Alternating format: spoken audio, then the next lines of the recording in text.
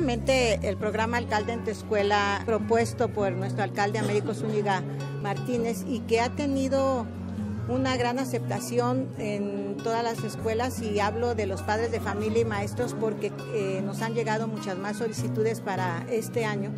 Eh, ha sido un programa muy noble que lleva, por ejemplo, el día de hoy, ¿no? que estamos entregando dos aulas didácticas, no solamente con recursos del ayuntamiento, sino con los recursos federales que se han gestionado y que se han aplicado por parte del ayuntamiento en infraestructura escolar. Son más de 50 millones de pesos en más de 350 planteles.